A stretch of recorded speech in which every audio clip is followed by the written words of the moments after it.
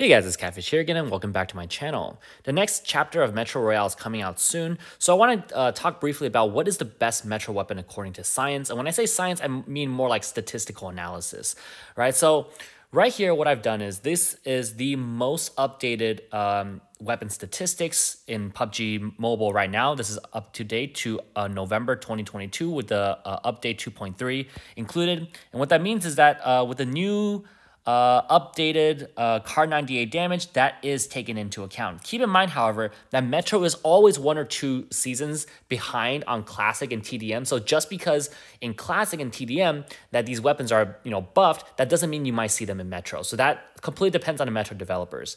Anyways, uh, this is different from normal classic weapon spreadsheets because right here you can see that I included uh, high explosive chest damage as well as high explosive headshot damage. You can see that uh, I took into account how much um, you know damage it would do if you're firing high explosive bullets. Now these damages are um, collected using intact weapons. The reason that's because not every weapon in Metro has a refined version of it, right? For example, the UMP doesn't have a refined UMP unless you're like very lucky and somehow you stumble upon one, you know, dropped by a boss. So in order to keep everything consistent, I assume that every weapon here is intact, but they're firing high explosive ammo. And as you can see, when you take that into account, the high explosive ammo, the DPS is insane for every single weapon. Um, so I also included the damage it deals to level 4, level 5, level 6 vests, as well as how many shots it takes to kill and the time it takes to kill for each vest.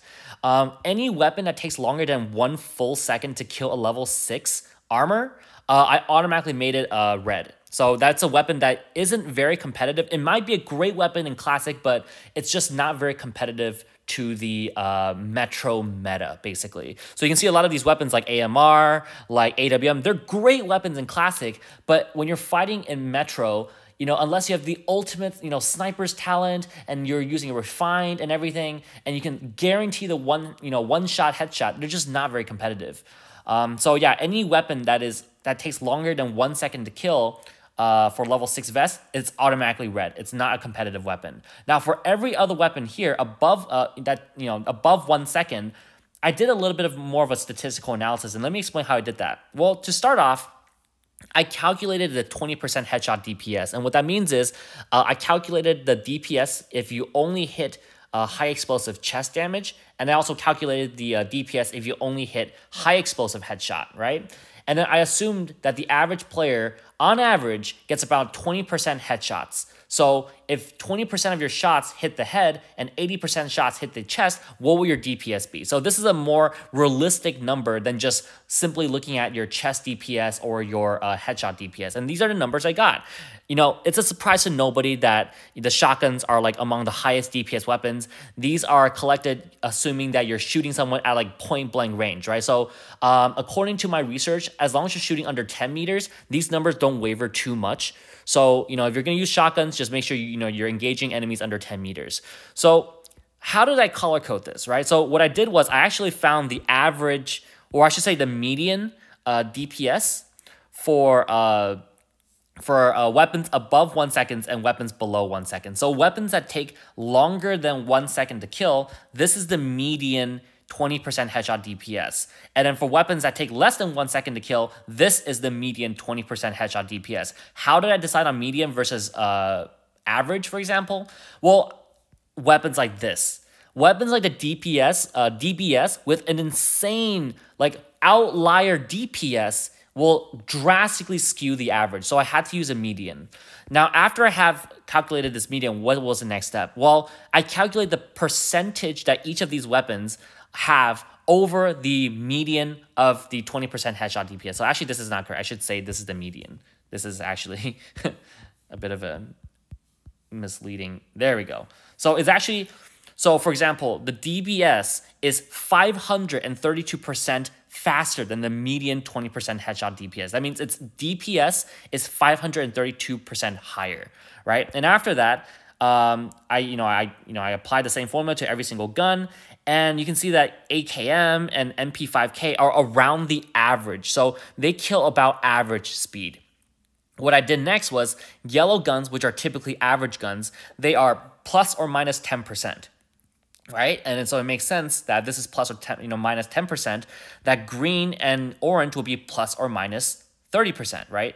So um, you can see Groza, these are from 10 to 30% uh, higher DPS than the median. And you can see orange is 10 to 30% lower than the median uh, of the 20% headshot DPS. What about this one? Well, the blue rows are uh, between 30 to 50% right? So it's not a surprise that MK14 and MG3, which are currently the two most meta uh, Metro weapons, are in this blue column. And then finally, anything above 50% is purple. So a quick look at the logistical weakness column. So I went through each weapon here and decided what is, was the most significant logistical weakness when using this weapon. And obviously DBS being a shotgun, it's range, right? So any enemy above 10 meters, you're to struggle killing them. Uh, S686 being a double shotty has a low capacity. You can't really squad wipe with it. Same thing with a sawed-off shotgun. The S12K is, is interesting because even though it is a fast-firing semi-automatic shotgun, the rate of fire is excruciatingly slow. Um, at 0.2 seconds per bullet, that's like half the speed of an SKS spam tap. That means as fast as you can tap, you will only be able to shoot five times per second, which sounds fast, but it really isn't. It makes it you know extremely difficult to land uh, follow-up shots on your target. Uh, the NS2000 shotgun just got released, and so we have no idea how it's going to perform.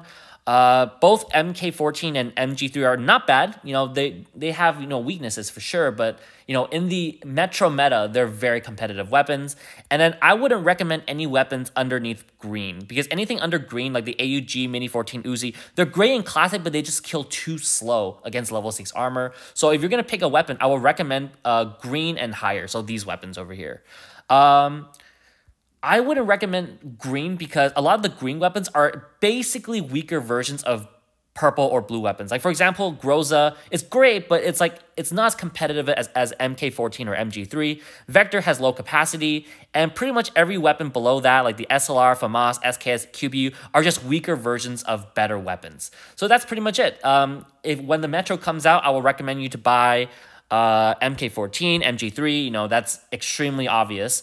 Um, DBS is very interesting because shotgun shells in Metro are in very very cheap you know uh, high explosive shotgun shells cost just a little bit more than a polished 762 so if you're just starting out you want you know you're low on money you want to use a gun that doesn't cost too much to operate i would recommend a dbs all right that's pretty much it see ya